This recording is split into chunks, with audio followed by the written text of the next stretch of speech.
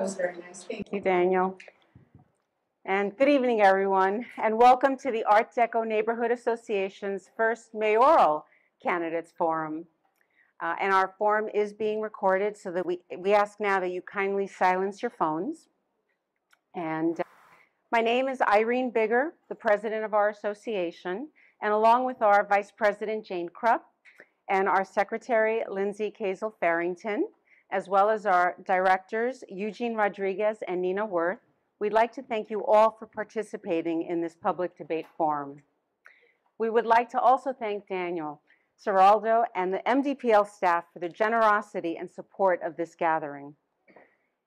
For those that were not with us at last week's forum, there are certain points and facts that are worth repeating. ADNA represents roughly 854 registered voters in our defined area, which is in the Art Deco Cultural District from 15th Street to the north side of 5th Street and the ocean to both sides of Washington Avenue.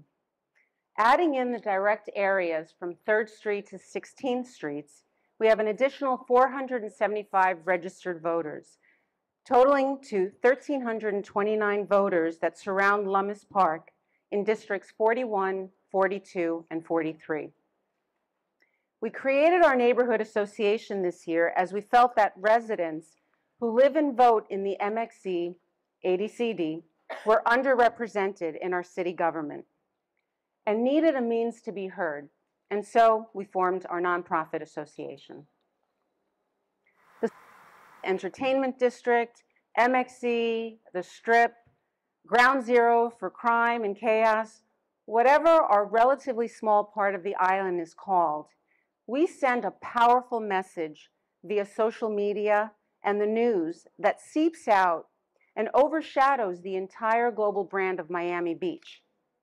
What happens on Ocean Drive does not stay on Ocean Drive. Residents here and throughout the city are prepared and committed to participate in and inspire change in Miami Beach. The city often cites consultation with stakeholders in determining recommendations to our elected officials.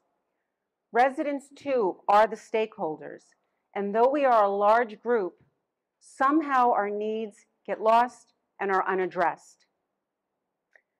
Our mayor is the nonpartisan chief executive of the municipal government of Miami Beach, who chairs the meetings of the seven-member city commission.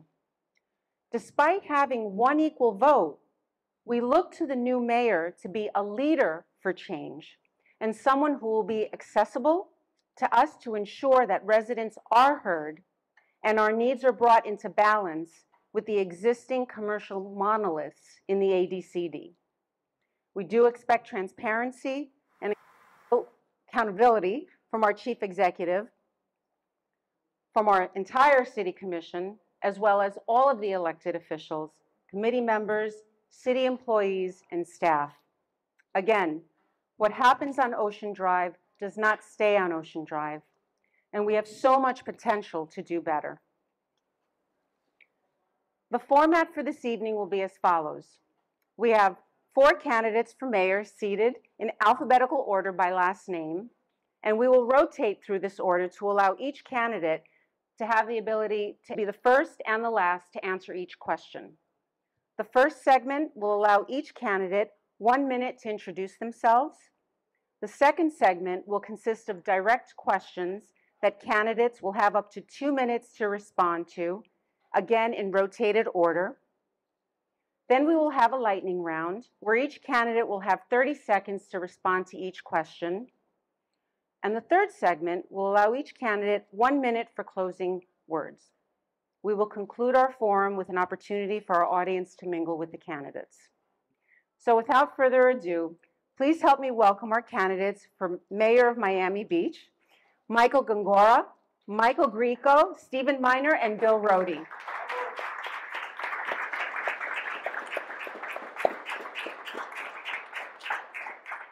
Beginning with our first segment, could each of you please take one minute to introduce yourselves? Lindsay in the audience will signal a 30-second warning card and Jay next to me will sound an alarm when time is up.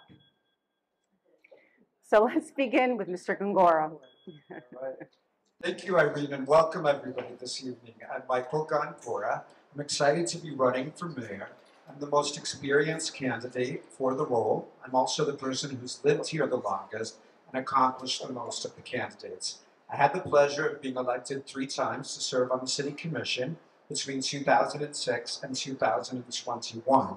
I accomplished many things from the creation of the Sustainability Committee to passing our stormwater master plan to keep our city dry to actually placing the items to renew the lease on this building that we're all sitting in tonight so that MDPL could continue to be here. I'm excited to work with this resident group as I am all resident groups in our city. I am, am I at 30 seconds? All right, I'm at 30 seconds, everybody. By trade, I am a condominium lawyer. I've actually worked with some of the buildings in the area. I'm board certified by the Florida Bar. And I'm also the only candidate that served on all three of the, city, of the commission committees, finance, land use, and neighborhoods. Public safety is my number one issue, resident quality of life, and making sure that the city moves forward with stormwater mitigation. Thank you all for your attention. Thank you. Good evening. ev- You turn it. Good evening, everybody. I'm Mike Grieco. I live about nine and a half blocks that way. I'm the proud father of a 14-year-old going to Beach High. Uh, I've lived in South Beach now since 1999. My first apartment was at Fifth and Meridian, and uh, worked my way up over the years. Six years as a prosecutor, four years as a commissioner, proudly four years as a state representative, which plays probably the most important role in a lot of what we're going to be talking about tonight. Because every time somebody's going to make a promise tonight about what they're going to do, the state legislature can stop them from doing it. So the power that I have is that I have the relationships and the know-how. When the state legislature starts coming down on us, I know who to call, how to call, and how to get around Tallahassee to make sure that the state legislature is not taking our local control away from us, especially when it comes to development in this area. My name is Mike Grieco, and I'm running for mayor.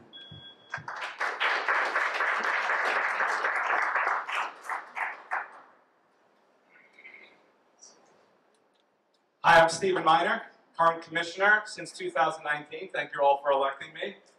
I am a current uh, attorney with the United States Securities and Exchange Commission. I work in enforcement. And then my family, lovely family is here, my wife, my two kids. My parents are residents of Miami Beach as well.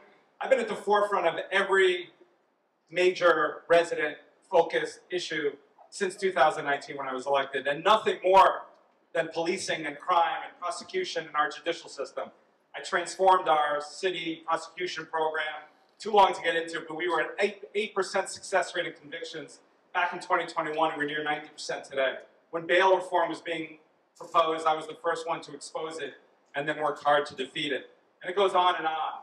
I'm a supporter of 2 a.m. And it's because, not that that is the magic bullet, but I believe it's a, an aspect of turning around what's become in our city and also transforming our city into that arts and culture destination that we're really trying to make our city. Was that the buzzer? Yeah. Thank you.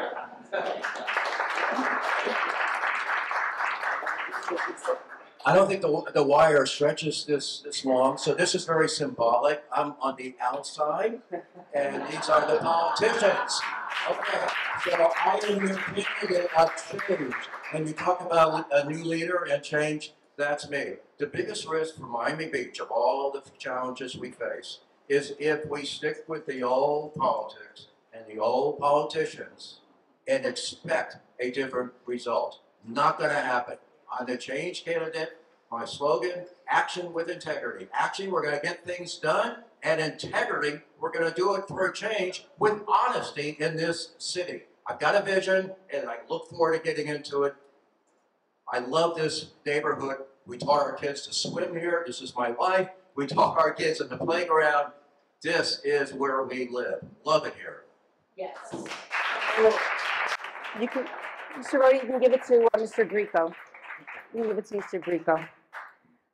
Moving on to our questions. Two minutes. I will read the question, and each of you will have two minutes for a direct response. Again, we will continue in alphabetical name order and then rotate throughout the candidates. And this question goes to Mr. Grieco. The issues we have in the Art Deco Cultural District affect our immediate area and can at times unfairly dictate the identity of all of Miami Beach. Therefore, there have been calls for solutions here that can spread and positively impact our entire island and ultimately our global brand. Mr. Grieco, do you agree with Mayor Gelber's vision shared with us in July of 2020 to rebrand the MXC into the ADCD, the Art Deco Cultural District? And if so, what is your plan to lead the transformation from a hospitality dominated economy to a more diverse live, work, play, balanced global brand? So it's a great question. So I don't think one is separate from the other. We don't have any auto plants or cement factories in the city of Miami Beach. Our brand is hospitality. It may not be late night chaos, or it shouldn't be, but hospitality, food and beverage, entertainment, also hotels and tourism, we can't deviate from that. That's why people come here. That's why we're able to keep our taxes as low as, as low as they are, because hospitality is our brand. Chaos should not be our brand. So converting to a more arts and culture based economy is also important. But it's important, look at what we did. We just passed this bond, $160 million for art and culture.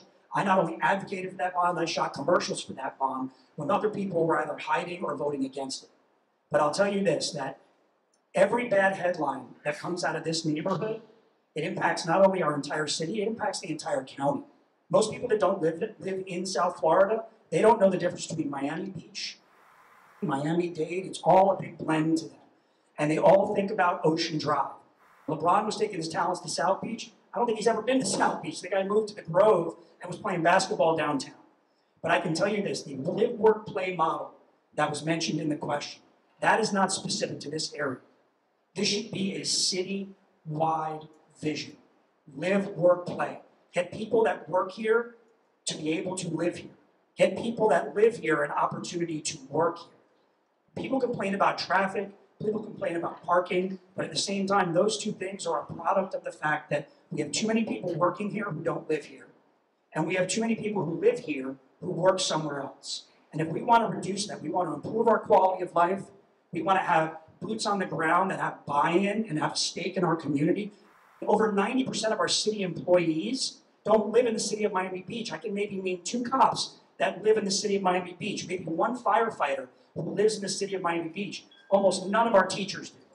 So we need to be focusing on getting these folks living in our city, providing housing opportunities for them, but also providing housing opportunities for the folks who work in Thank you. hospitality. Thank you. Commissioner Meiner? I do agree that's an absolute fact that what happens here on Ocean Drive and in South Beach has an absolute impact on the rest of our city. We cannot, and I think most people recognize that. You talk to people who live in North Beach or Mid Beach, and they're impacted by what happens in spring break, but it's not just spring break, it's all year round. So how do we change that? How do we get away from that? And there's many different aspects. I mentioned the 2 a.m., I mentioned arts and culture, but it's also incentivizing residential use. So we did, we converted the Marriott Hotel that's now going to become residential. Not immediate in this area, but there was a, a hot controversial issue with a, a hotel project in Sunset Harbor that I actually was, there were four of us who were deciding vote, but I was one of the deciding votes to vote against it because the argument is as much as we can bring residential into this area, the better. We have enough transient use, we have plenty of it. Airbnb is an issue. We just had an incident with Airbnb. I'm actually going to be, I'm looking to bring legislation to lower the standard that our code uses to enforce against Airbnb. It's too high. You almost need an admission from somebody to admit that they're violating the law. You don't see that with any other issue. And the bottom line is we need more police presence, enforcing the law. For example, open drug sales. You can see it here. I have a proposal right now that we should bring our own drug testing lab to Miami Beach. Because right now, a lot of our arrests don't even get tested. And we can't prosecute a case if it doesn't get arrested. I actually made the argument. I was meeting with, with a group of business people, and I actually said to them, it was the Chamber of Commerce, and I actually said to them, I am, I'm not insulting anybody here because they're not on the current commission. I said, I am the best, most pro-business commissioner you're going to find. And really, everyone knows me as the pro-resident commissioner. So why did I say that? Because when you crack down and you have a safe city and a clean city and a well-lit city, you are going to have a better city for residents, and it's going to also be better for our businesses. Everyone wins. It's a, it's a win, and we have to get back to the basics and make that happen. Thank you, Commissioner. So Steven just said he's the most pro-business commissioner, and I would agree with that. However, I'm the most pro-business mayor candidate. Why? Because I've been a CEO for 30 years. I know how to build a brand. So there's actually, believe it or not, a master plan. And I do agree with Mayor Gilbert. I do believe it. I don't know if anyone's answered that question, but I agree with the rebranding of Ocean Drive and this whole district all the way to Washington. There is a master plan, and we just have to implement it. It includes 20 million and another 5 million for Lummus Park. 20 million for Ocean Drive alone. Nothing has been done. And this is why I'm running. I want to get things done. And I want to do it in an honest way. And this is what I'm going to do. This is my pledge. I will get things done because I've done it as a CEO, I've done it as a military nuclear missile base commander, and I've done it as a health ambassador. Even if we start small, what's small? We'll put more lights in the park. Easy to do. We clean up the sidewalks. There's litter everywhere. And we make it safe. That's the most important thing. We can see from our apartment where people have been murdered on Ocean Drive. And that's why they don't come anymore. It's empty. If you walk it today, I guarantee it's virtually empty. It's a narrative that's not only taken hold in our community, it's taken hold worldwide. So the first thing we're going to do, we're going to work with the police, and we're going to make it safe, and then we're going to do all the other things. There's a lot of good things in that plan, and we're going to rebrand it, and it's going to be amazing because we know about branding and we know about marketing, don't we? MTV style. Good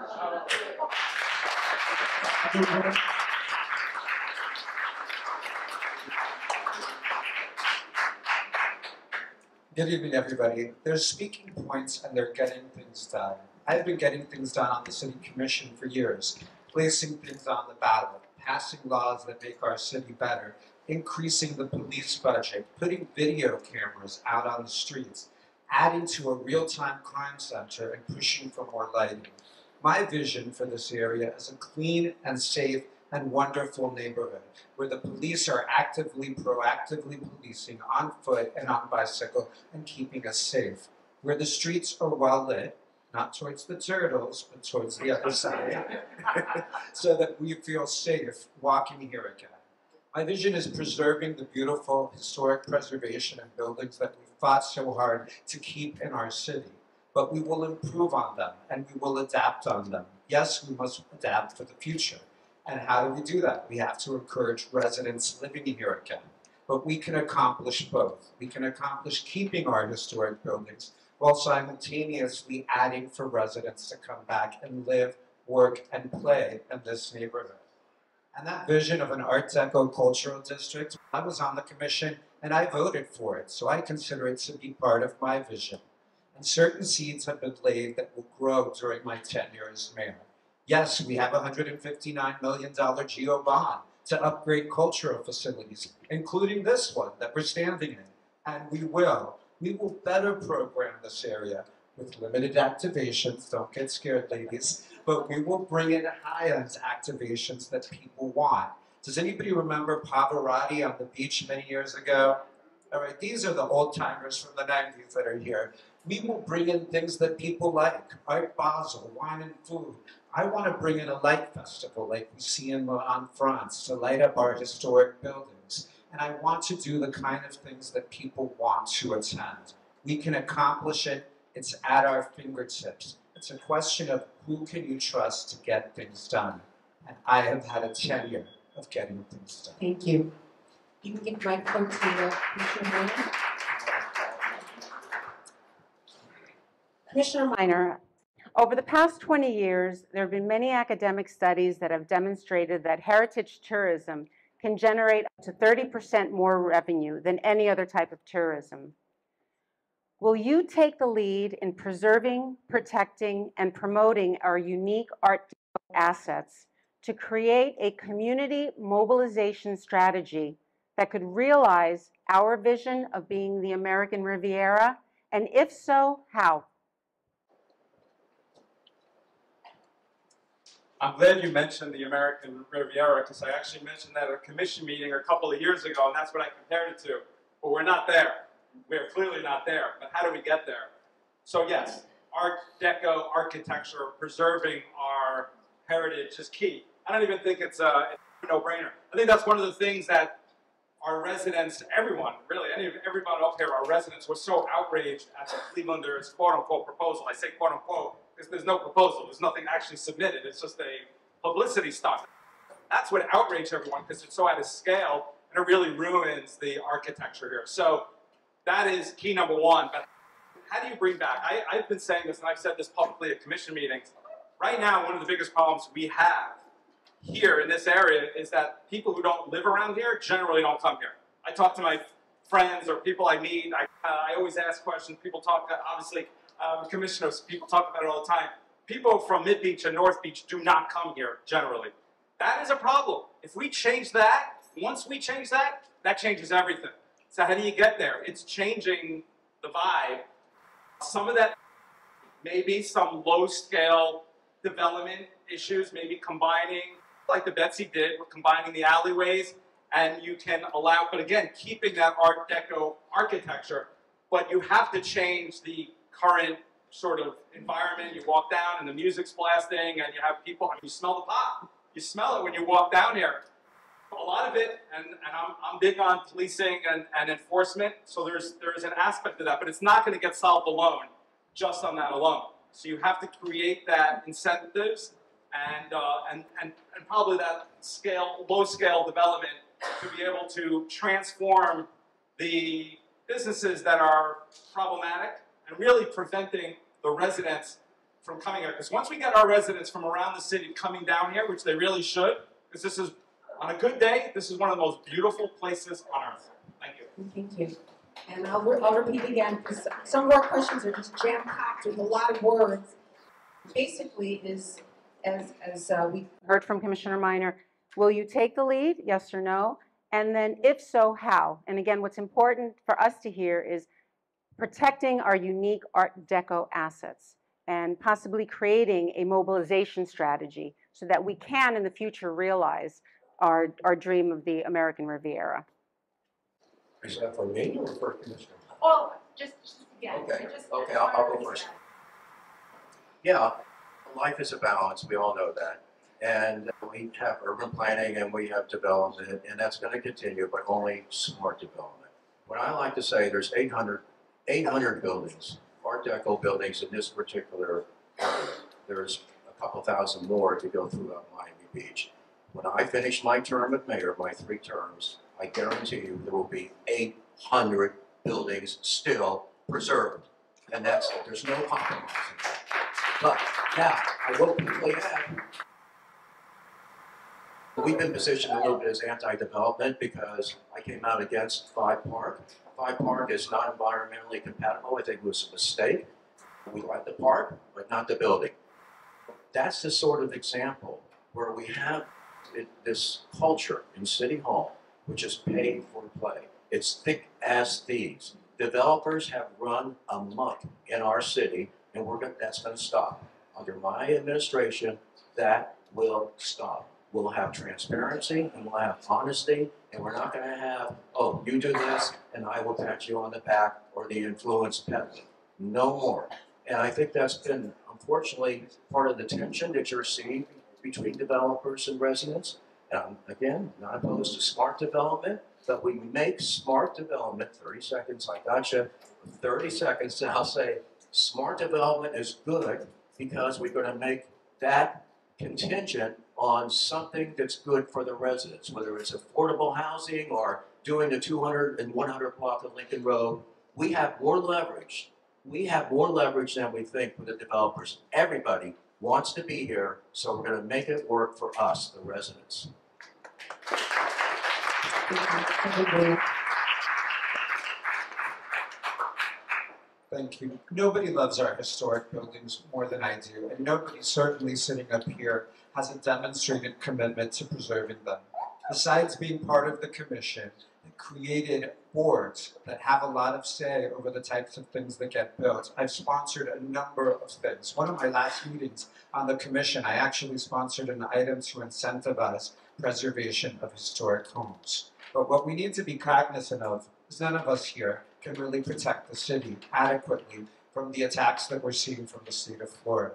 The preemption laws that are attacking our historic buildings must be stopped. And we need a mayor that really has land use experience and legal knowledge to work with our city attorney team on really changing the zoning to try to get ahead of the issue. We really need to work, look at whether we do some type of moratorium or whether we do some kind of down zoning to try to get ahead of the Live Local Act and other state preemptions that are attacking us. And in fact, we may need to band together with other cities in similar situations to us. Coral Gables and Palm Beach clearly come to mind. There's already a proposal on our block at the Clevelander to put up a 30-story building. Of course, we're all opposed to that. It's ludicrous. But we need to get ahead of that issue and be ready for it. You have my commitment as mayor that my commission will be focused on this. We will work with our legal team. We will do everything possible. Simultaneously, we will also go to the state. We will negotiate with the state and we will work with them to preserve our history. And these buildings are our history. And I love it. And it is part of why tourism wants to come here. I love the Art Deco walking tours, which I need to do one again sometime soon. I love the fact that tourists want to come here not just to go to nightlife, to be here during the daytime for our beaches and our beautiful historic buildings. Together, we will fight and we will preserve our history.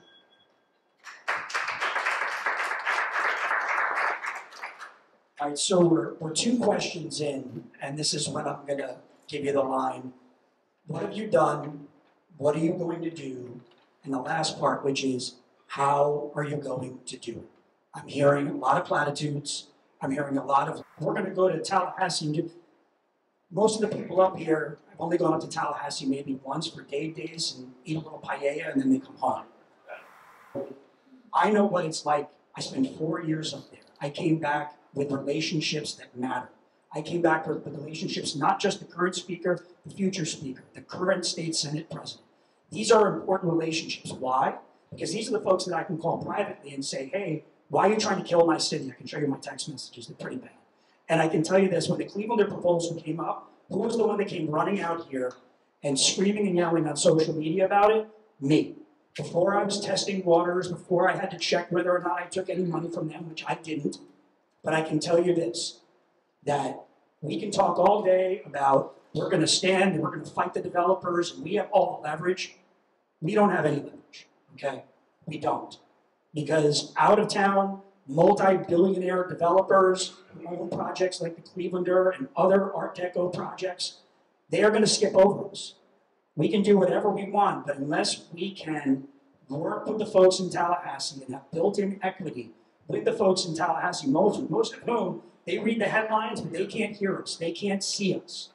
Heritage tourism and what we want to do, rebranding South Beach and this area in particular, is essential for our future. I hope there's some other questions that we can go deeper into this, but I can tell you right now, as we move forward in this forum, what have you done?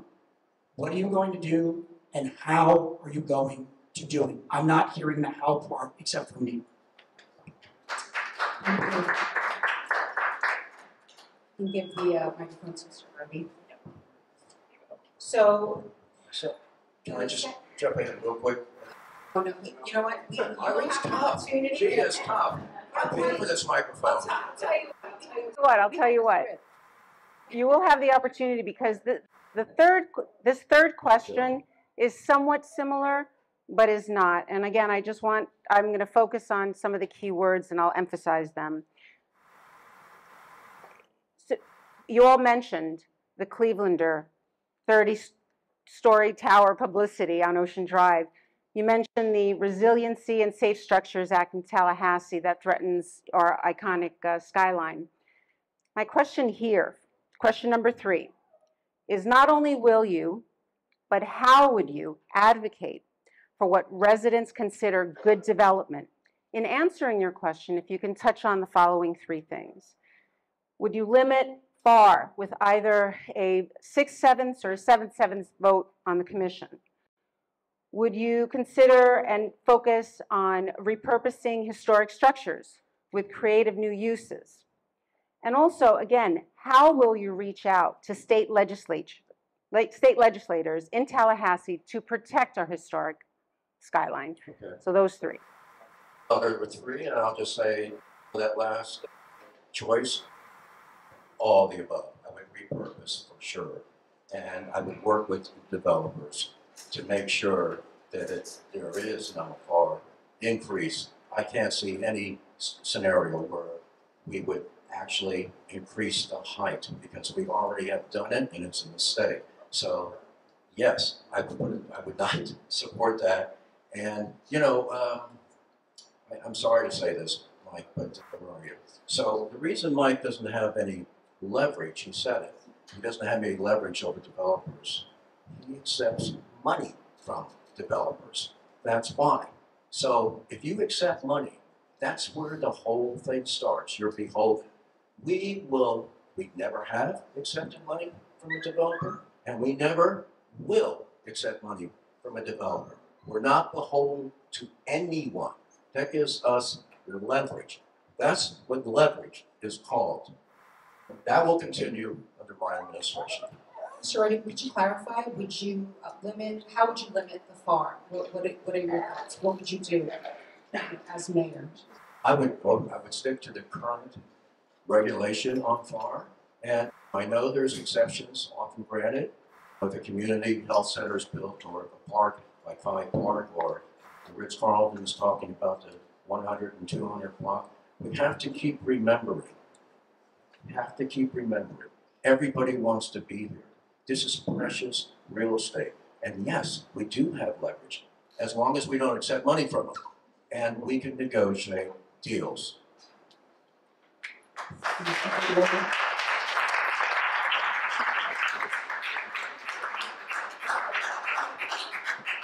All right, everybody. The only person that I'm beholden to are the residents of Miami Beach. So yes, I will stand up and fight for our community. As to the specific questions, yes, I do support the measure going before the commission to increase it to a six sevenths vote of the commission to approve FAR or FAR. It is FAR. But same thing, the floor area ratio. Also, Commissioner Alex Fernandez has sponsored an item that I support and that I've discussed with him about creating a process when people seek FAR increases so that the city has a way to slow it down and focus on it, to send it out to the planning board and the land use committee and public charrettes, because we need time to get ahead of this issue. Sometimes it feels like we're under attack from the state. And we need to look at what other communities are doing. Hey, we're, we're not alone in this fight. Doral and Hollywood are dealing with it. The, the commission in Doral declared a moratorium. Maybe that's what we need to do. Maybe we need to downzone this specific district so that everything that exists becomes legally non-conforming, and then there's less FAR available. And we do need to have that conversation with our legislators. Our state rep is here tonight. I think we should ask him, please take back the Live Local Act and please help us fight these wrongs. I would work with them at the state level to try to rescind this I would also do everything legally possible as mayor with my commission to try to stop this. And this is really where the land use experience comes in. I chaired the land use committee for many years. I'm board certified as a land use attorney, and I'm ready to use that experience for all of you as mayor to preserve this district. Thank you. Mr. Green. Um, called out by name, there we go. All right, so I served on the commission for four years. Do you know how many notable developments that all went up during those four years? Zero, Bill. Zero. What have you done? What I have done is I served on a commission that said no to development, yes on infrastructure. We worked on roads, we worked on parks. The only thing that got developed was the convention center. So it's all about track record. What have you done? What are you going to do? So when the Unsafe Structures Act when that was coming through, when they were gonna come in, forget the Live Local Act. When the legislature was going to come in and say, if you live in a flood zone and your building could not be built today, you can knock it down, forget about historic preservation at all. Who was the one reaching out to the individual bill sponsors and talking them off the ledge while the bill was actually in messages? Me. I was the one reaching out to Rep. Roach. I was the one reaching out to Senator Avila. Want to know why? Because I can call them and they will pick up the phone. They're not going to pick up the phone if you're Joe Blow mayor that just came in and doesn't know your way to Tallahassee. This is an important piece of the puzzle. We can go six sevens, fine. We can go seven sevens, that's great. Eight sevens if you want to go and stop FAR, that's great. But I'll tell you right now, every time we stick over in the red zone, when we're over here on the wrong end of the, we're on the wrong end of the field, there are checks being cut up in the state capitol that will circumvent everything that we are doing. So we can sit here and dig our heels in the sand, or we can be realistic about what we want to do. The Clevelander can't do what they sort of proposed to do recently today. But with one word added to that bill, one glitch bill, add the word intensity instead of density, you could see a 30 story tower starting to get built tomorrow, and there's nothing we can do about it unless you know who to call in Tallahassee and how to get things done.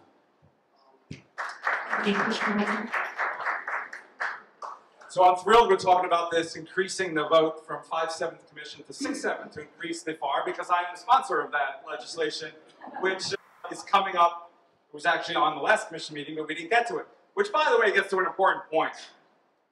The commission meetings, that's really the power of the, power may not be the right word, of the mayor. The agenda, and also behind the scenes. I've seen it. Administratively, you can pass all the legislation in the world, but it still comes down to implementation. And that's really where the mayor has an outsized voice compared to the commissioners. But getting back to the five sevens. So where did that proposal come from?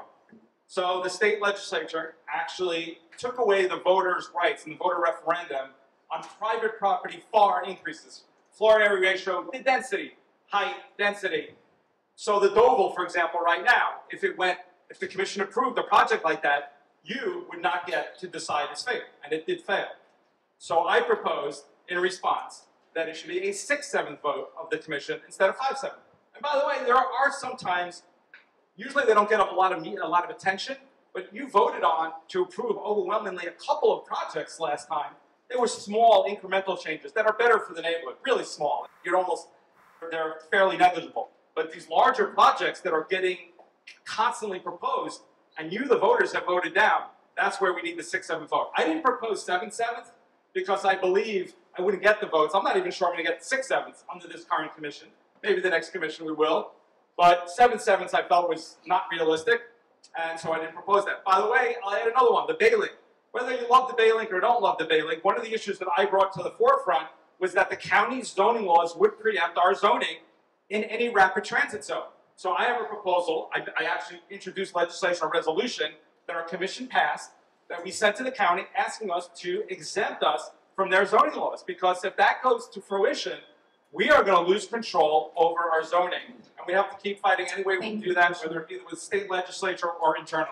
Thank You can give the mic to- to uh, Mr. Gongora. And uh, thank you once again, Representative Basabe, for being with us today. So recently, many have asked about the, they've questioned the lack of transparency in the city's RFP bidding process. Mr. Gongora, how would you advocate for the city to create a more competitive bidding process that would also be inclusive of the residents? This is interesting, and obviously with Nikki Beach being in the news constantly, people have been concerned about the RFP process. Personally, I think we should do a longer process on these projects that give people trust in the process and don't question the motivations of the commission. Right now, there really isn't a bright line rule on how RFPs work. It's really up to the commission to determine. Typically, when I sat there, the city manager, administration, and legal team would bring us a proposal, and it was seldomly tweaked, if ever, by the commission. Recently, we've seen shorter and shorter ones. So I think the first course of action would be to have a lengthier RFP process. Number two, The first step of business is there's an evaluation committee appointed by the city manager. Typically, the commissioners get the proposed list. If some of us have a comment, we email back, but I think it would be helpful to have more residents on the evaluation committee so that there would be more transparency and reliability in that process. Finally, I think depending on the specific RFP, because some are not as exciting as others, some are over buying new uniforms for the lifeguards. People don't get all excited about that one. But I think sometimes when it involves a lengthy city lease or an item of particular interest to the community, that it would be beneficial to have a public charrette where people could come personally and speak on the item. So as mayor, I hear you, I see what's going on, and I would guarantee to you that I would create a longer process, a more transparent process, and a more resident-involved process. The recent, I, I live a block away from Nikki Beach, and I can tell you that I think more people have reached out to me about this than any other issue, uh, specific issue in this campaign. And I went over there and, and listened to the folks who are the current leaseholders, and it became clear to me that when a 400 page proposal goes out without any public input in advance, that's the issue. It's not about having public input at the end. They created the documents that said how you qualify for the application without any public input. There were a few meetings here or there, but at the end of the day, it was just done, and then everybody's now trying to play catch up. If you read that document, which it's very lengthy, it doesn't have a lot of the things that a lot of folks would probably want. And that's the problem. So that public input process needs to happen before you put it out to bid, before you go into the code of silence, especially on major issues where you've got one of the, if not arguably, the most expensive piece of property that this city owns. That property on the market is worth hundreds of millions of dollars if the city were to have it appraised. I don't think it was ever appraised as part of this entire process. So the process was flawed from the beginning. I can't speak to whether or not the end result is going to be the best result. I'm not on the commission, that's not my decision to make, but I'm going to inherit as your mayor whatever that end result is. But I can assure you moving forward that on significant bidding processes like this, there will be significant public input. Listen, I took my door off, of transparency, I took my door off the hinges when I got elected both on the commission and to the state legislature because I wanted people to come in anytime that they want to talk to me on any issue. And on issues this big, they should be able to do the same thing.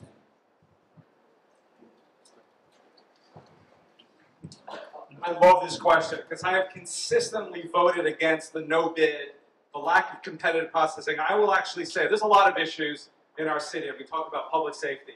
But really, in my humble opinion, one of the biggest failures of our city right now is this bidding process.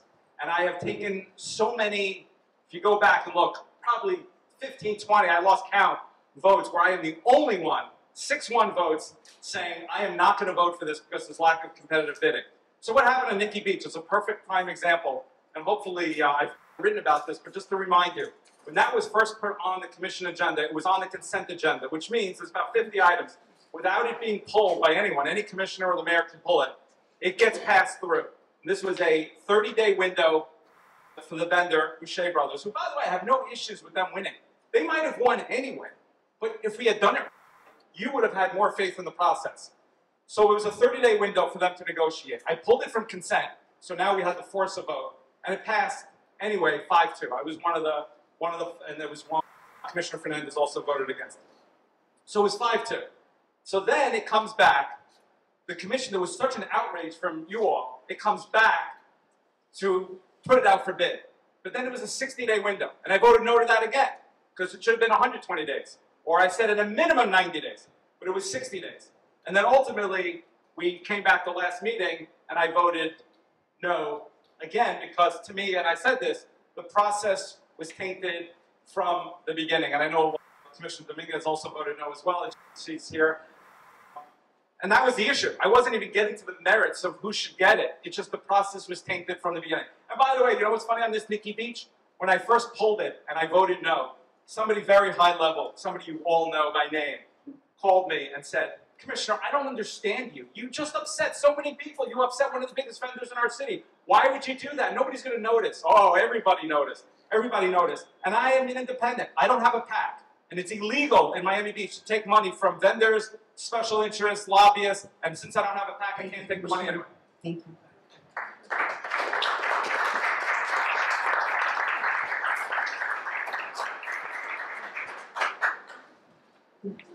Okay, I guess I'm up.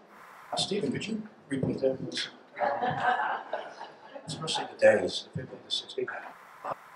I, I, I do think that the most unfortunate thing about this terrible process with Nikki Beach is one of the commissioners actually said, we're gonna stick with the hometown boys. Can you imagine anyone who is planning on investing in Miami Beach and sees that? They won't invest. It's just part of the influence peddling the, tip, the, the you do this and I do that, and it just personifies Miami Beach as not a serious city. We're a billion dollar budget now, and by the way, a billion dollar budget is less than the budget that I had as a CEO. I know how to do budgets, it requires a 24 7 mayor.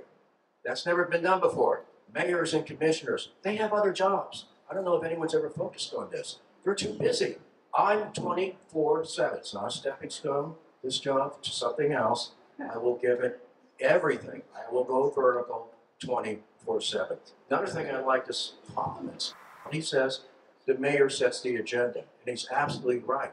I'm hearing so many things about Tallahassee, I almost think maybe you should go back to Tallahassee, Mike. It's, we've lost our swagger. We have lost our swagger. Miami Beach bats above its weight.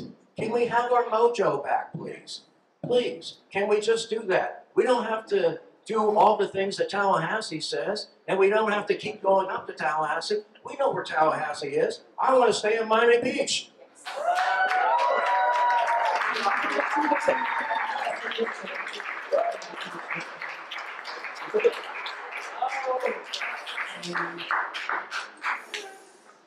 Next question, Mr. Grieco, is about Lummus Park. In 1917, Lummus Park was sold to the city of Miami Beach with this deed restriction. I'll give you a chance to respond to, to what was said. The property herein conveyed to the town of Miami Beach is conveyed exclusively for park purposes and shall never be used for commercial or residential purposes. I'd- We'd like to know, what is your vision for the future use, preservation, and/or development of Lummus Park, and how would you lead the commissioners towards your vision? 10 seconds for rebuttal, and then please answer the question. Sure. Over the last four years, I spent 250 days in Tallahassee, which is probably more time than Bill spent in Miami Beach over the last 10 years because he was in England.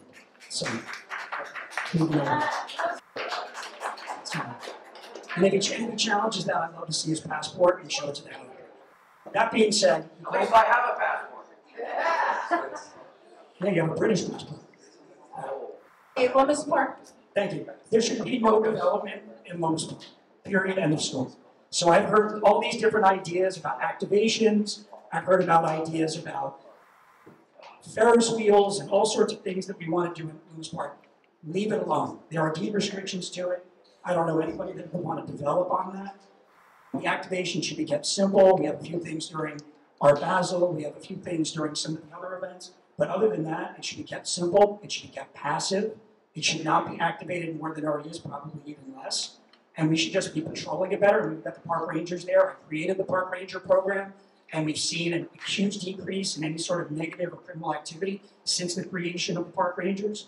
But realistic realistically speaking, I don't see why we should, why should we should be doing anything more with Lummus Park other than keeping it the way that it is.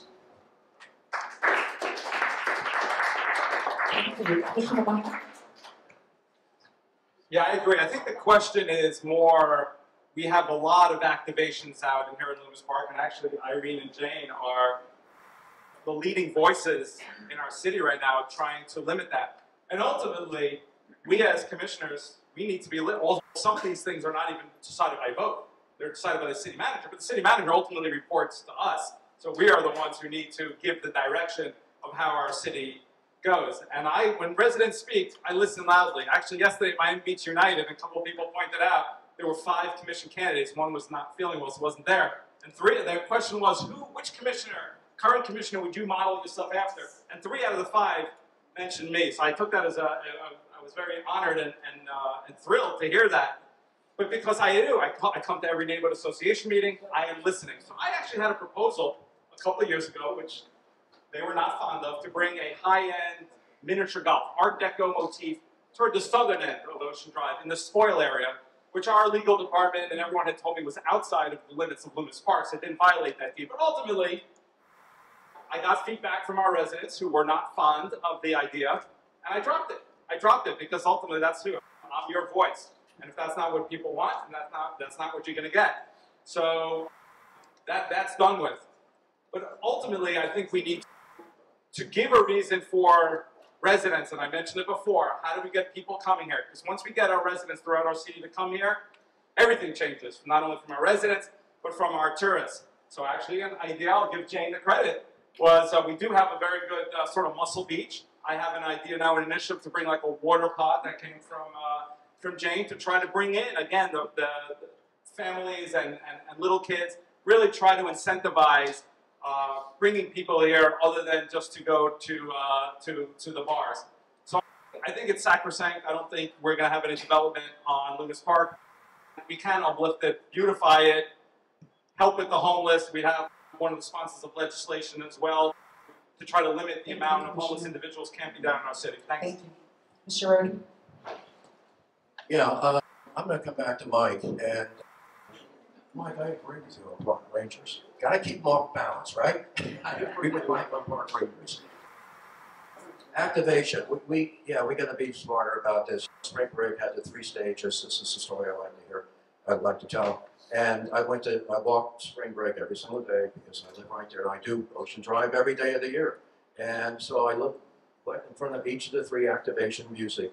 And there was a CNW. I got a music background, MTV, but we also had CMT, Country Music Television. So I'm listening to the band. I'm look, I'm thinking, this is a pretty good CMT band. What's the problem? And I looked around, and there were only four people. Only four people. The city spent three million on the activations. It didn't work. So I'm very reluctant about back activations unless it's much smarter. There was the the recent. I see this is sometimes things are good. There was the little stands that were along the walkway, and some people liked them. Residents didn't like them, and they were eliminated by the movement from the residents of this South Beach. So that's a good result, and that that worked.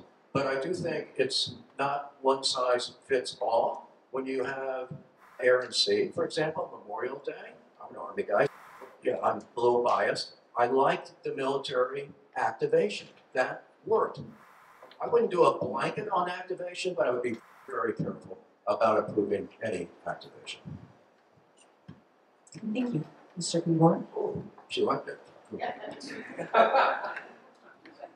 All right, no, nobody in their right mind would support development on Lummus Park. That is your land. We will fight and we will protect that from development. So then let's talk about commercialization. I'm opposed to it. There's been some bad ideas. There's a low-end market that didn't work that was done here that the city had to cancel. There was an idea from a commissioner, one of my opponents, to bring in a no big deal for like a putt course uh, on Lummus Park, which also I think is a bad idea. I think we really need to focus on high-end activations. What do I mean by that? There's stuff that doesn't work. Does anybody remember last spring break, that inflatable boozy bounce thing they blew with the bar? All right, looked like it belonged at the low-end festival. That we do not need. There are things that we need to make our city better. I mentioned earlier, things that work. Art Basel works. People like those art tents in the park. It's become part of our identity and our brand. The Wine and Food Festival works. So we have to look at opportunities for high-end, high-level activations that the community wants to participate in. So I mentioned in my opening one that I love is a light festival, like we see in Lyon, France. I think that would be great and work with what we have there, our beautiful historic buildings. They've done kind of a smaller version at the Betsy before, which was gorgeous, and I also saw a small version at a fish called Avalon. Not surprisingly, two of our better businesses.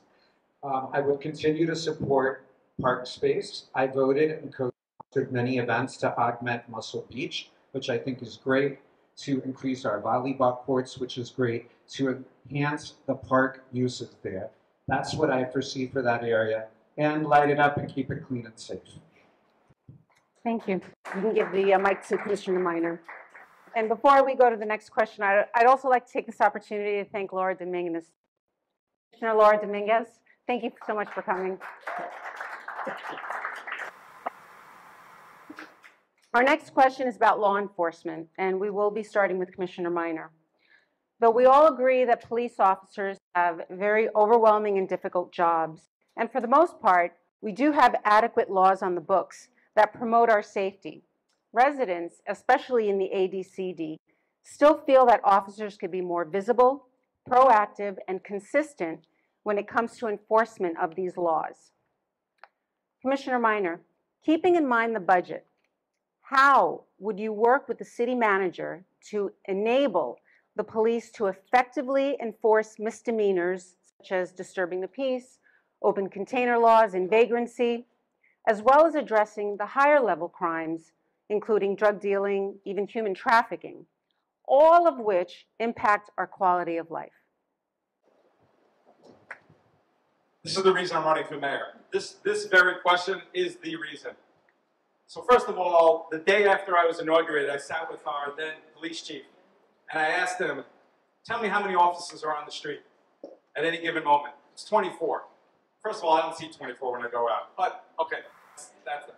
But based on the numbers that we have, 416, and some of them are civilians, a lot of detectives, there's a lot of hierarchy, but still, if you look at the numbers that the Department of Justice puts out, we are on the high end. We are on the high end of offices per capita, and that's accounting for the tourism. Not to say I wouldn't be supportive of adding more, but I don't think that's the issue. I don't think that's the issue. You got to fix what we have now, and that is more visibility. And it's the biggest deterrent to crime. If you ask anybody who, any chief, anybody who studies this, any an- any any analytics, deterrent to crime is having the offices visible. You walk down Ocean Drive, this should be our Times Square. Don't want to, maybe not the perfect comparison, but you go to Times Square, there's cops everywhere. You don't see that here. You don't see that here. So that's one issue. Second, as I mentioned, I transformed our municipal prosecution team, 8% success rate, and I passed a series of legislation requiring our prosecutors to prosecute. And we're at 87% today. I also took away some of the misdemeanors from the state attorney's office, and, and that's three of them. And at the next commission meeting, again, it was on the commission meeting, this agenda, it didn't get heard. That is a problem. Instead of having two hours of proclamations and an hour plus on the Hall of Fame, no, I'm serious. We should be discussing this. And by the way, when, when I initially brought the item to take away misdemeanors from the state attorney's office, they're bombarded. They have felonies. They have 34 cities. Our commission initially voted me down. I actually had to do the research and come up. I spent hours and hours. Th- That couldn't even get access to the database until they said I was the first and only elected official that actually asked for permission to have the database to be able to do the research to make sure that we are not only visible and making the arrests where necessary, but also I prosecute. agree with what you're saying, Steven. How about that? Uh, I can be a mentor to all of these, and they're going to be part of my team when I become mayor because they have some good things to offer. So I want to work with them. So, you know what I do? So I will. I think she's a baby.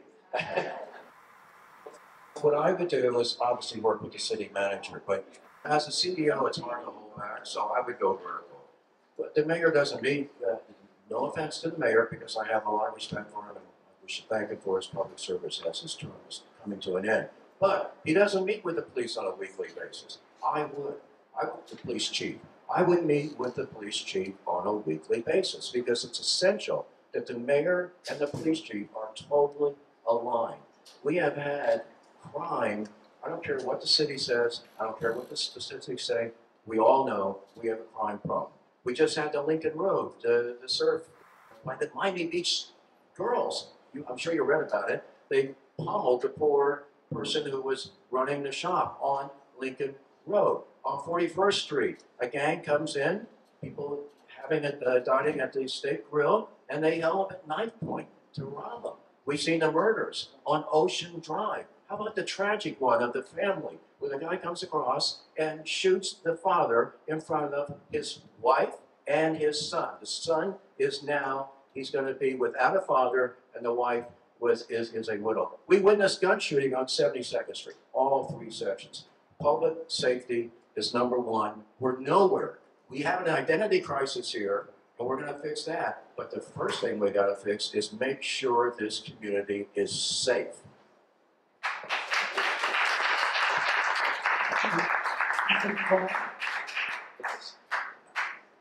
Public safety is my number one issue in running for office, and nobody has the demonstrated experience that I have over many years.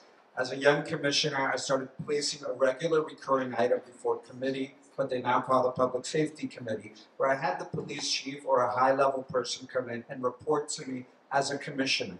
As mayor, I would take that to the next level. I meet regularly with our police chief, even not being on the commission, as well as our police leadership, to make sure that we are where we need to be. I've earned the endorsement and the support of our Miami Beach police officers because they trust me to be your law and order candidate and to implement the changes we need. My last year on the commission, we upped the budget for the police. We created additional positions because we need them. We added money for video camera installation because we need it. We need a real-time crime center. We need to have the police out there. And part of what we needed was a trust issue. And the police trust me. I tell them, we've given you your tools. We've given you the positions. We've given you the money. We've given you technology. Now we need you to walk the streets, be visible on bicycles, and give us the proactive policing that our residents demand. I will give you that as mayor. I'm also going to make sure that we implement other tools. This area needs lighting. I mentioned that in my opening. Lighting deters criminal activity. Right now, there are parts of this area that quite frankly feel dangerous. It's like an attractive nuisance. So besides these other policing issues, I'm going to work with our city to give this area that safe feeling and that lighting that we need. And finally, I've walked Ocean Drive probably more than anyone. It's a regular part of my repertoire, so to speak. I'm here weekly, as I am in other areas of our city, to personally see and hear and be a part of what's going on. And as your mayor, I'm going to give you that same commitment that I will be there on the front line. So, speaking of the front line, I'm going to go back to what have you done? What are you going to do? And how are you going to do it? What have I done? I served six years as a prosecutor with the state attorney's office, gangs and narcotics, putting people away, hundreds and hundreds of years, long time investigations. That's what I did. As your commissioner, again, I created the park ranger program. Essentially eliminated crime in all of our parks, and that program keeps growing year after year. What else did I do? I brought the Air and Sea Show here. The worst weekend every year in the city of Miami Beach for 17 years. I came up with the solution, implemented the solution. It cost the city zero dollars. We went from hundreds of arrests to dozens in one year, and we do it every year. And I'm glad that several of my opponents think it was a great idea. It was, because it worked. Because when I knocked on doors in 2013, that was the thing that everybody brought up. What are you going to do about Memorial Day? And I fixed it. What are you going to do about spring break is now the next conversation. What are you going to do and how are you going to do it? I'm going to make it really hard to park. Now, let me explain what that means. Not for residents, not for employees, but 95% of the crimes, violent crimes that are committed here, are committed by people that drive from outside our city, park their personal vehicles, bring their drugs over, bring their guns over, bring over half their garage and all their coolers and everything else, and they essentially spend no money in our city, and they terrorize residents and tax, our taxpayers, our residents, our hotel guests. That is the problem. It's not just about police, it's about reducing the size of the crowds and increasing the size of the quality crowds that actually spend money in our city. Thank you. Mr. Roedy.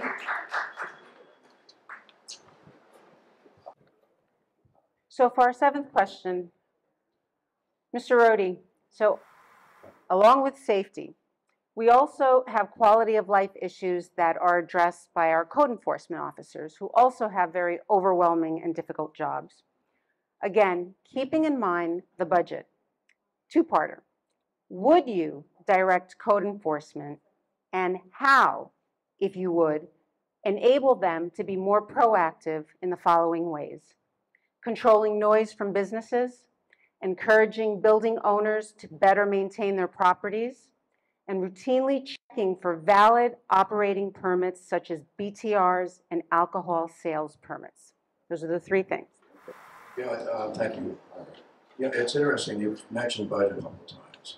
And we have nearly a billion dollars in our budget. This is a very wealthy community. And we have come out and supported a ten percent increase in resources for the police, including the code enforcement. Code enforcement, however, is not just about resources. It's about discipline. I led troops in combat in Vietnam. I commanded nuclear missile bases. I served 11 years as an airborne ranger. I know discipline, and I know how to motivate troops. And it's not that different from police. I'm not saying our police does a morale problem, but my phrase was always, you're more likely to take the hill if you want to take the hill. There's too many of our police and code enforcement who are sitting in cars or coffee shops or Starbucks. We gotta get out. We gotta up our game. We gotta not take it up a notch. When you have the noise pollution, we've all seen it. I was on what Collins going to Shabbat, and uh, we got tangled up with two Lamborghinis. Went two Lamborghinis and were racing on Collins Avenue. That's that's that's stop. We've all seen it. We've seen drug trafficking. We've seen gun violence on the streets. And it's not just code enforcement, it's the police. I realize you're focusing on code, but code enforcement means a lot. Why? Everyone's heard of the broken windows or the broken glass, which happened in New York in the 90s. You start low and then it bubbles up. You get the low crimes first, and that's what code enforcement does, and then naturally it bubbles up to create a safer environment for the whole community.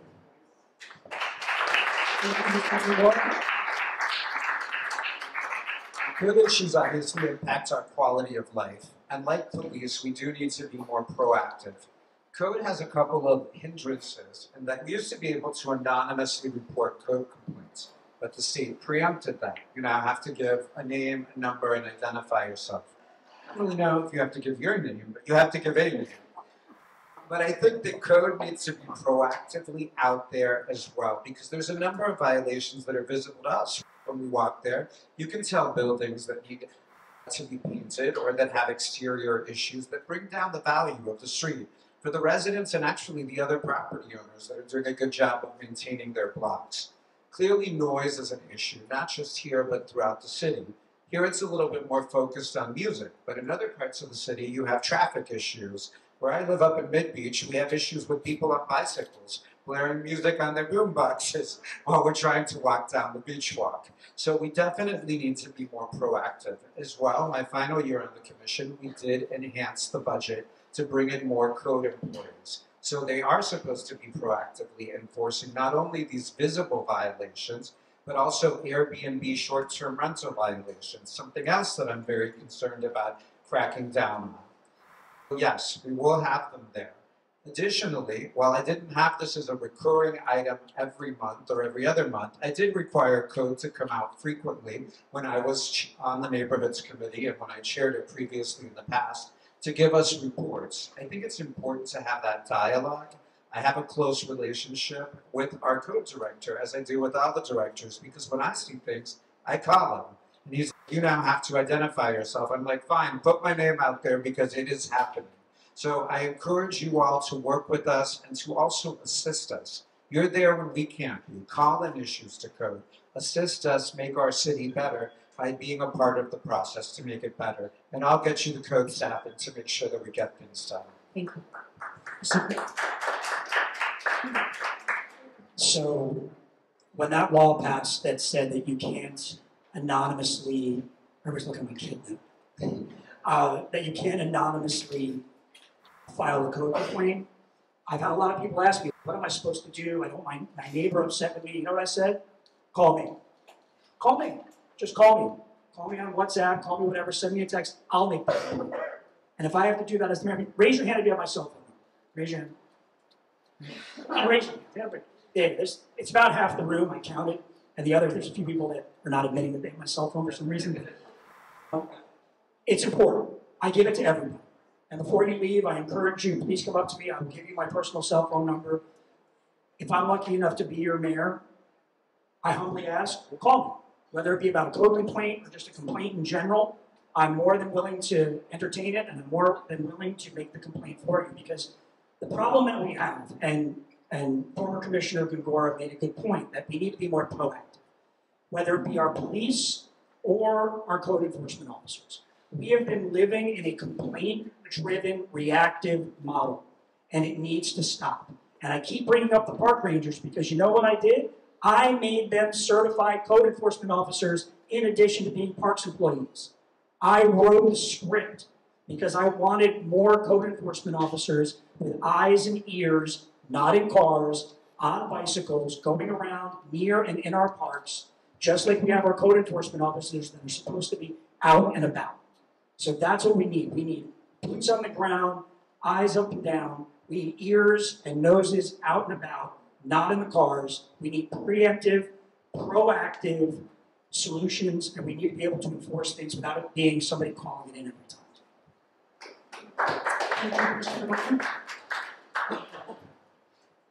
I actually get a lot of complaints and I do call them in, but the problem is a lot of people don't know to call the commissioner, so it's good. It, it helps to some degree. But actually, and I mentioned earlier, there was a shooting this week on 47th and Alton. Eight shots were fired, thank, thankfully nobody was injured. I actually was involved with that for about probably six months because the person who's next door was complaining about this home and actually had said to me a couple months ago, there's going to be a shooting that happens based on the people who are using this as an Airbnb. And he was right. But what's the problem? I'm not even blaming our city so much. Actually, code was really even, in fact, the code compliance was there at the time because they were doing it undercover. But the problem is, they didn't have, the, based on what we are interpreting the law to be, they were saying unless the person admits to actually violating the law, they're not, they can't enforce the law. And that's what I mentioned earlier, that I'm looking into legislation. A lot of it's not legislation. I told you it's administrative, how we do things. This one might be. That we need to make sure that we're cracking down on this without having somebody admit there's a problem. But it's really, it's the focus of the administration. So I brought an initiative probably a year and a half ago. We are one of the only cities, I think there's only three or four cities in the United States, that actually have noise meters in different parts of the city. We have three. It was an initiative I brought. I was doing some research, and I saw this, and we brought it. But I can tell you, it's not working because there's no desire to make it work. They, I got fought tooth and nail. They didn't want to bring it. I had to fight for it. I Had to bring it four times to the commission to finally get our city administration and the police department to sign off on it. They're not in the right locations, and this is part of the problem. If you don't have the desire, you can have all the legislation in the world. You're not going to get things passed. And I'll tell you one other thing the mayor does quickly that is that, that separates the mayor from the commissioners. They appoint people to the committees. I had a lighting item that I brought for this area. It passed our Public Safety Neighborhoods Quality of Life Committee, which I'm the chair of, 3-0. It could not get out of the finance department. It could, the finance committee. It couldn't get out of it. So we never got to commission. The, the mayor must, and I would, appoint the people who are resident friendly to make sure that we get things through the commission. Okay, Thank you, everyone. Thank you. Our last question of this segment, we will start with Mr. Monroe. Day one in office. What will be your first commission agenda item and how will you gain a consensus of support? Great question. I already told you public safety is my number one item, so I would put a measure on the agenda for the police chief and the police leadership to come before us and issue a report and make sure that we have proper implementation of a proactive policing plan coupled with a discussion of what's coming for spring break because it's looming right around the corner after that December meeting. And I'm honored to have the support of all three remaining city commissioners. Something that you need. A lot of the mayoral candidates like to tell you, I'm going to do this, I'm going to do that. But in truth, you're the chair of a body. And I'm honored to have that support so that I will be able to push through my agenda. So it will be public safety, it will be proactive policing, it will be representing back to us what they're doing through multiple neighborhoods. It will be a discussion of lighting and how we are using technology to make our city safer. And it will be a discussion on spring break. Because as we said here today, I know that there's increased funding, there's an increased policing plan, but I'm not really sure what else we're going from there. And I want to make sure that my first spring break as your mayor, I deliver the safest spring break you've seen in many years. And it's my goal no shootings, no drama, no CNN. That's my promise to you on day one. Thank you. Again, day one, what would be your first commission agenda item and how will you gain consensus of support? Okay, so my first agenda item, I don't see how I would not get consensus for this. I essentially want to take a wrecking ball to the building department. So I want to change the way we handle permitting in this city.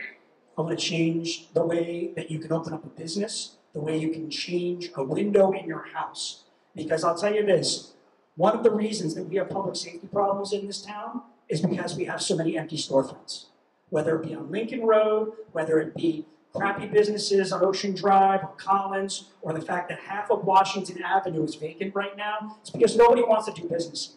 Because it takes three times longer in the city of Miami Beach to open up a business than it does anywhere else in Dade County and in South Florida. And everybody knows it. Nobody wants to invest here right now. Wynwood, Design District, Coconut Grove, Coral Gables, Doral, Brickell, they're running circles around us right now.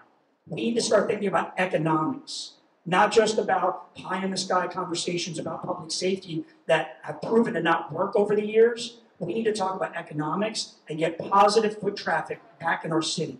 I have been living here for almost 25 years, and it hasn't always been like this. I used to work on Washington Avenue.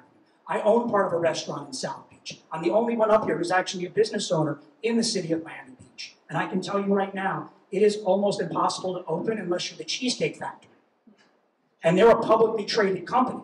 But if you're a mom and pop or even a mid-level business, you're bleeding. You're in the red by the time you open because you've been paying rent for months. So my first item, and I don't see any world and where I'm not going to get consensus for this, whether I'm endorsed by commissioners or not, because it makes sense. It is a citywide issue, and you want to talk about solving crime and getting rid of bad headlines. That is how you do it.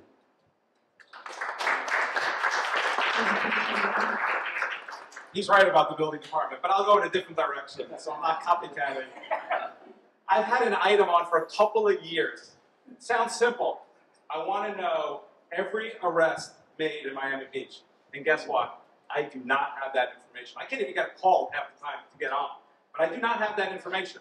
And guess what? There's not a single person in our city right now, not one person who knows, other than our municipal prosecution team that I told you about. We handle some of the misdemeanor. There's not a single person in our city who knows what happens after an arrest is made and it goes to the state attorney's office.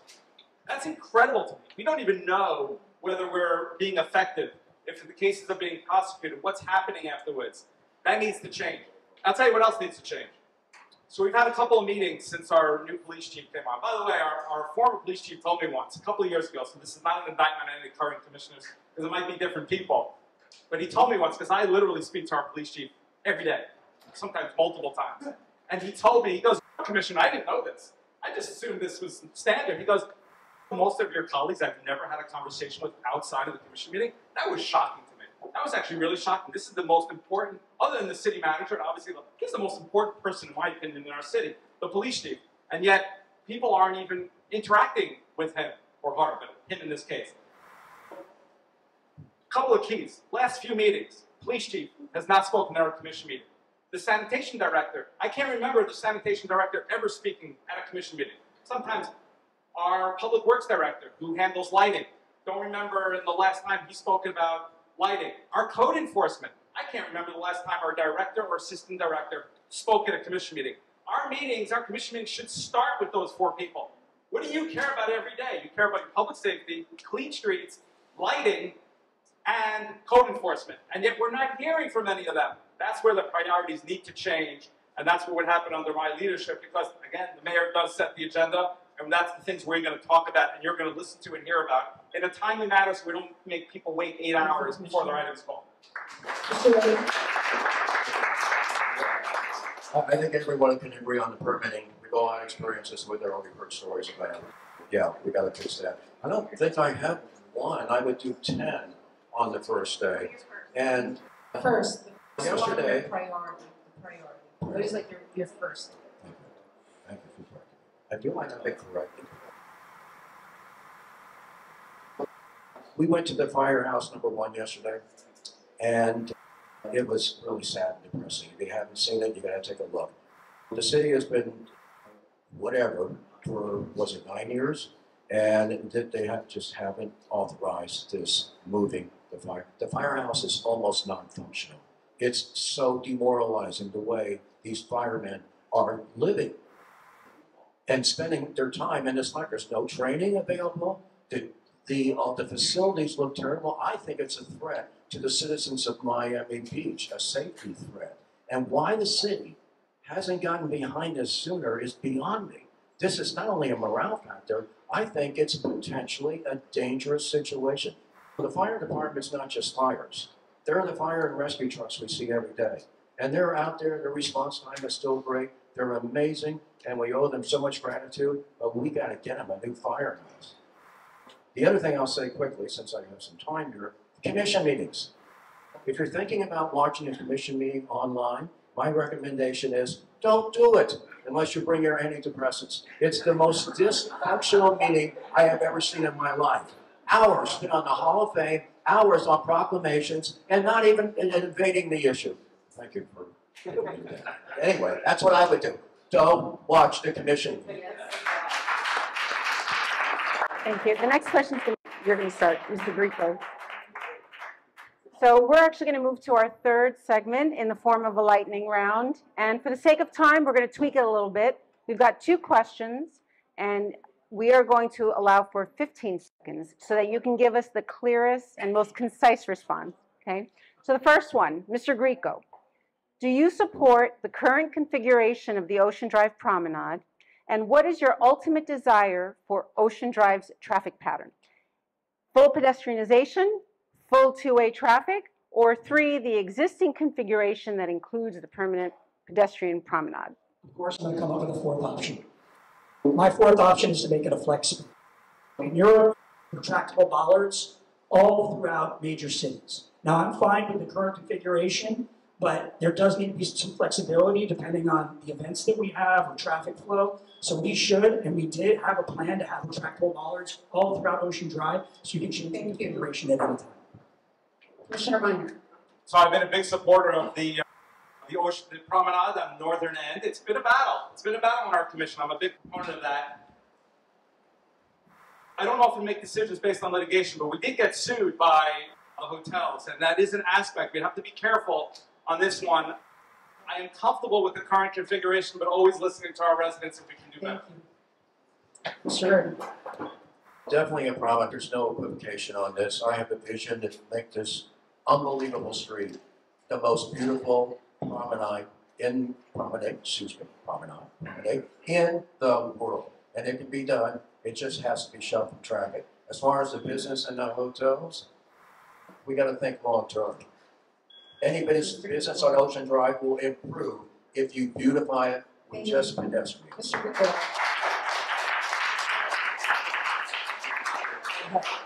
Mr. Rico? I voted for the current configuration before I left the commission at the end of 21, and it's got issues that we'll fix, but it's more or less working. It allows for a promenade on the residential side with one lane of traffic reintroduced. Also, at the beginning of COVID, I introduced the full pedestrianization because we needed it at that time. People needed to be outdoors, we needed to have the outdoor seating for our Thank you. restaurants and cafes. Thank It didn't work. Commissioner Meiner, you get the next question first.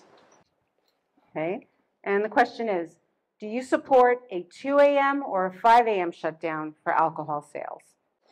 Every time it's come up, I voted for 2 a.m. I've never not voted for 2 a.m., so that's pretty clear. I'm a 2 a.m. I'm a 2 a.m.er.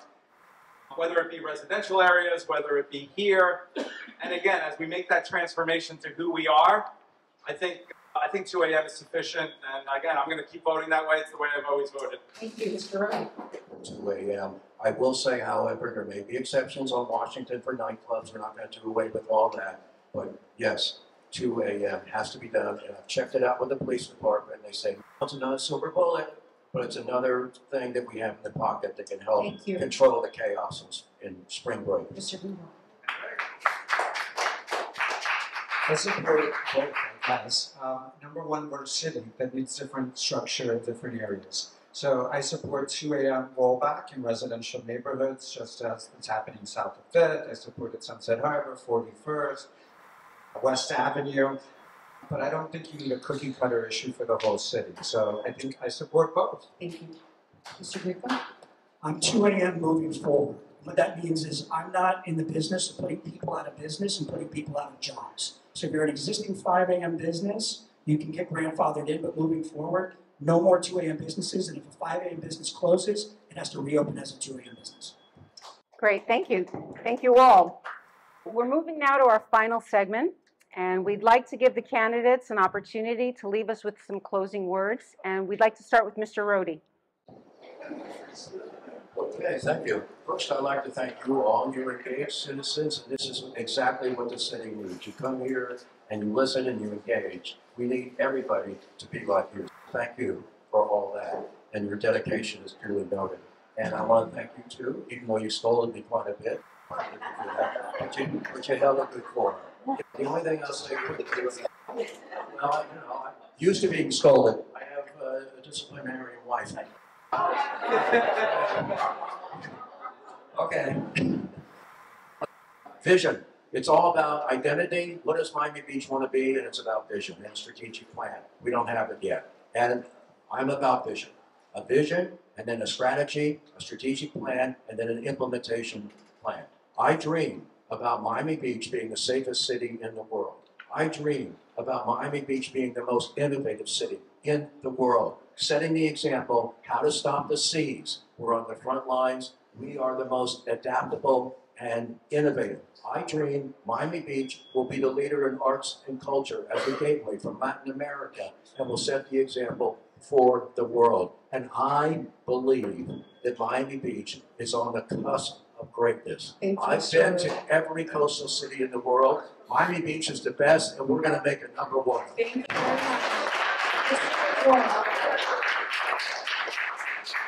We all have dreams, but you go into vote mayor, you need a leader that can make those dreams into a reality. I am that leader. There's no question if you were hiring for a job, you want the most experienced person with the most commitment, who's been there the longest, and who's gotten things done. If that's what you want, then vote for Gongora. I have lived in this county my entire life. I've lived on the beach since 92. I've been committed every step of the way. I served three elected terms. Nobody else has done that. I have a record of doing things for you all, and we need somebody that can take it to the next step. And with the endorsement of all of the remaining commissioners supporting my vision and my platform, that dream of a better Miami Beach will make it a reality.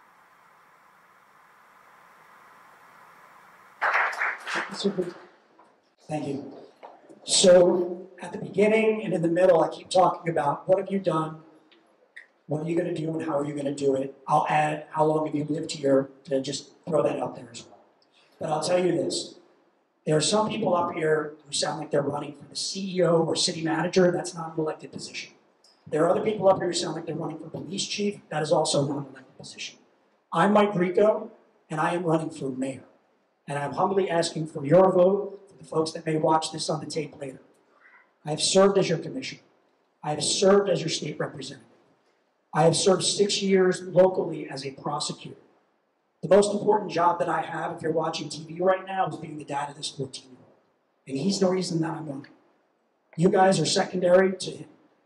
But at the same time, I am looking to have 85,000 new bosses. Because that's how many residents we have. I want you all to be my boss. I want you all to be able to call me. I want you all to know that I am there for you. My name is Mike Grieco, and I am running for. Thank you. So we talked about how the mayor sets the agenda, gets to pick the committees, but it's also the interaction. Like I said, three out of the five candidates yesterday, Miami Beach United, picked me, the resident friendly, and the, you're going to see the change. Under my leadership, you would see those meetings would be completely different, and by the way, one of the questions was, would you get the support? I get the support for my items because they're good items. Commissioners are reasonable people. You all elected good people. And if you bring up a good item that makes sense and is logical, is going to help our residents, you're going to get the votes. That's why I always get the votes for my items. The other thing is, the other thing that must keep in, in, in perspective, first of all, I've answered 50,000, over 50,000 emails. I personally do it. I read every email, every text, I answer them. And also, transparency. City contracts were not available publicly. They are now because of an item I brought initiative. City audits, conditional use permits, working on a commercial map of development projects. Transparency is so important. That's why the competitive bidding process, I've taken a hard line on it every time to make sure that you have that access and you have that competitive process. I'll continue to do that and it's going to permeate our entire city. Thank you. Commissioner. And thank you all. So this concludes the Q and A portion of our forum, and we would like to now give the audience an opportunity to mingle with the candidates and get to know them better. I want to thank you all for participating and joining us this evening, and we look forward to these discussions with our newly elected officials. Have a great night, everybody.